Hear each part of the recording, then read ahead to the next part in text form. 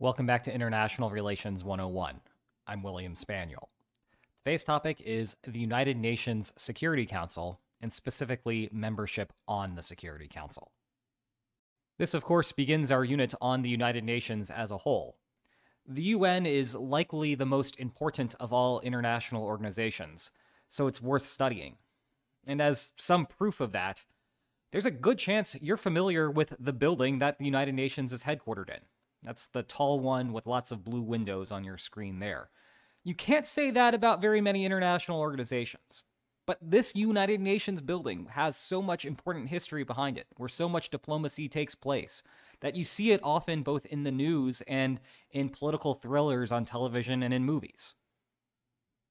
So, with that in mind, let's talk about what actually takes place in this building in New York City. The UN itself is divided into a large number of sub organizations. And because the UN is effectively the governing body of the world, there are lots of other international organizations that have ties to the United Nations, even if those organizations do not fall under the direct purview of the UN. That being said, the two most important parts of the UN are the Security Council and the General Assembly. And just like the outer building, you're probably familiar with the interiors of these two parts. This is the inside of the General Assembly. The General Assembly consists of all countries within the United Nations. So when you see big speeches geared toward the entire international community, it's usually taking place at the front of this stage, with the ambassadors to the UN from the various countries sitting in the audience. The General Assembly has some important bureaucratic powers, and we'll talk about those later on in this course. What the General Assembly does not have, however, is the power to create binding resolutions. As a result, within international law, as well as within the United Nations itself, the General Assembly is by and large inferior to the Security Council. Nevertheless, because they pass resolutions anyway, and all countries vote on them, the United Nations General Assembly is useful for gathering data on where countries fall in the realm of international organization. And we'll talk about that as well later on in this course.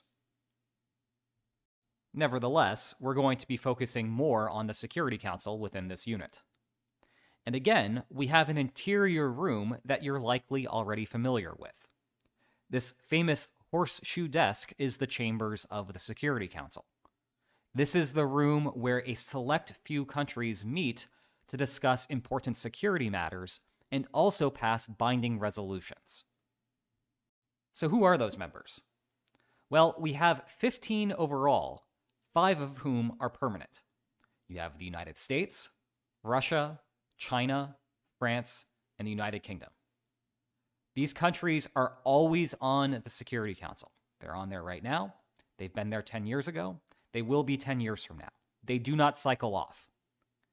They're also different from other states insofar as they have veto power on resolutions, a topic we'll approach again later in this unit. They are permanent members because they were the winners of World War II, or at least in the case of Russia, the predecessor state, the Soviet Union, was a winner of World War II. If you think about how the United Nations was founded, it was created in the aftermath of World War II. And so you can imagine that if you were the winner of the war and therefore capable of setting how the international agenda was going to run, you would want to put yourself in a privileged position. And that's exactly what happened with those five countries. The remaining 10 members of the Security Council are non permanent they serve two year terms and they cannot be elected in back to back terms. So if you serve for two years, you got to take some time off. As I record this, those 10 members are Niger, Tunisia, Vietnam, Estonia, St. Vincent and the Grenadines, Kenya, India, Mexico, Norway, and Ireland. The terms are staggered such that the top five countries will be falling off next year and replaced, and then the year after that, the bottom five countries will be falling off and then replaced. you might have noticed that there is good regional diversity within the non permanent membership. And that's not a coincidence. There's actually a regional quota system. This map shows you what those regions are and how many seats each region is allotted. Africa always has three non permanent members. Latin America always has two. Eastern Europe always has one. Asia always has two. And finally, the catch all remaining group, Western European and Others Group, that's the actual name of it, W E O G, they have two. And it actually gets weirder than that. The Western European and Others Group can claim full continental representation other than Antarctica. Obviously, North America, Europe, and Australia are covered. South America is covered via French Guiana, which is a full fledged part of France. Africa is covered because Spain controls a few small parts of what is along Morocco. And Asia is covered in a couple of ways. Most of Turkey falls within Asia. And in addition to that, Israel, although you can't quite see it here, is also within the Western European and others group. That's because the groups that they are more regionally closer to don't follow their politics as closely as the Western European and others group does. In addition to those regional groups, there's also an informal rule called the Arab swing state. At all times, one Arabic country will be on the Security Council via non permanent membership. Sometimes it will be through the African region, and sometimes it will be through the Asian region. But regardless, at all times, there's at least one Arabic state on the Security Council. Although there is good regional representation within the non permanent membership, overall membership within the Security Council is not proportionally distributed across states. The Western European and Others group has a fairly small number of countries overall. Nevertheless, they have five members on the Security Council at all times. That's because the United States, the United Kingdom, and France are permanent members. On the flip side, the largest groups by number of countries are Africa and Asia. Nevertheless, they only have three countries at all times. So that's the makeup of the Security Council.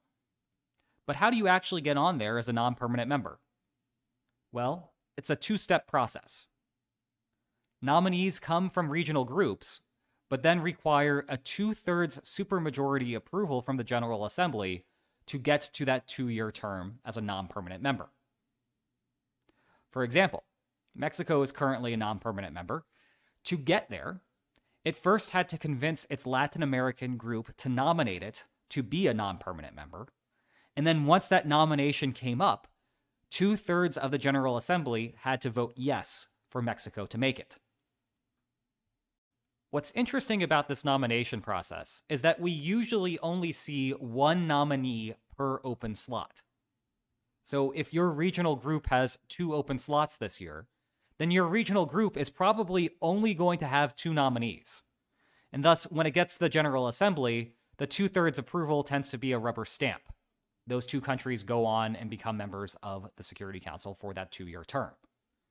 It is rare for there to be a competitive election within the General Assembly. Sometimes it happens, but very rarely. What that means is that the real competition occurs within the regional groups. And unfortunately, that process is opaque. So we as researchers don't have a very good idea about how a country becomes the nominee and then, with any luck for that country, receives the rubber stamp from the General Assembly. What we do observe, though, is lots of effort from states to try to drive competitors out of upcoming elections. Here's an example of that. Back in 2014, Uruguay wanted to have the 2016 to 2017 Latin American slot. They were campaigning for it. Armenia came out with a public declaration saying that they support Uruguay's candidacy here. Now, in some sense, this is strange. Armenia is not a member of the Latin American group, and so they don't have any ability to force through that nomination but at least it's sensible insofar as Uruguay is campaigning for something that is going to be coming up soon This was 2014, and this was the 2016 to 2017 non permanent membership. Here's where things get wonky. In return for Armenia's support, Uruguay threw its support behind Armenia's candidacy. But this was not an eminent election. Instead, Armenia was trying to secure a slot for the 2032 to 2033 non permanent membership. That's almost 20 years after this declaration. What's happening here is that Armenia is trying to clear the field of 2032 to 2033. If no other country from Eastern Europe tries to get that slot, then the Eastern European group is going to be forced to nominate Armenia. And if Armenia is the only one nominated, then conceivably it will receive the rubber stamp from the General Assembly and it will get on the Security Council. By the way, this relationship turned out well for Uruguay. Uruguay got the slot they had hoped for. We're still a long way away from Armenia's chance, so if you're watching this video in the future, please go ahead and leave a note behind to see if Armenia has been successful. To be clear, Armenia is not the only one that does this. Here we have Belgium declaring its candidacy for a seventh rotation within the non permanent membership, this time in 2037 to 2038. And if you look at the bottom, that was published in 2021. That's when Belgium declared this. 16 years before when they'd actually be getting onto the Security Council, they're already trying to clear the field and guarantee themselves that slot. If Belgium has been on there six times before, you may wonder where they rank among the most. And Belgium is pretty high, but they are not the highest. Japan is the most frequent non permanent member on the Security Council, having served 11 times. Brazil is next at 10, Argentina at 9, India at 8, Colombia, Italy, and Pakistan at 7, and then Belgium, Canada, West Germany, and current Germany combined together at 6, as well as Poland also at 6. On the other hand, not every country has served on the Security Council. Each country shaded in gray has not even been on the Security Council for a single year. One notable part about that map is that Saudi Arabia is shaded in. But unlike the rest of the countries, Saudi Arabia has actually won an election to become a member on the Security Council. In 2013, they ran unopposed. But rather than accept the slot, Saudi Arabia withdrew its name in protest to the Israeli Palestinian conflict. To wrap things up, we know that we have 15 countries on the Security Council. What we haven't yet talked about are the voting rules on the Security Council. What are the resolutions that the Security Council passes? And how does the central enforcement problem that is rampant in all of international relations affect what might happen with those voting procedures? Well, those are going to be topics for this unit. I hope you enjoyed this lecture, and I hope to see you next time. Take care.